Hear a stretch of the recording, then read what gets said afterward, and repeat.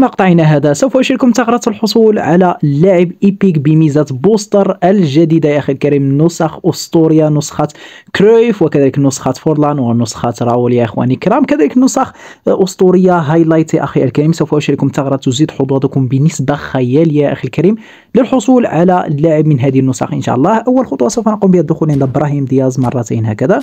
ثم يا أخي الكريم نفس الشيء عند فيكير.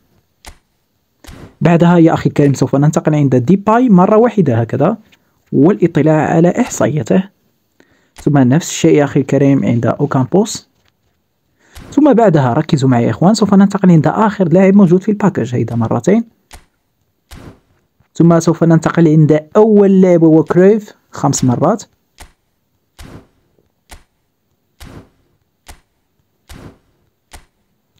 ثم يا أخي الكريم آه، فورلان مرتين هكذا والإطلاع على إحصائيته المرة الأولى ثم المرة الثانية. ثم يا أخي الكريم ركزوا معي سوف ننتقل عند إبراهيم دياز مرة ثانية مرتين هكذا.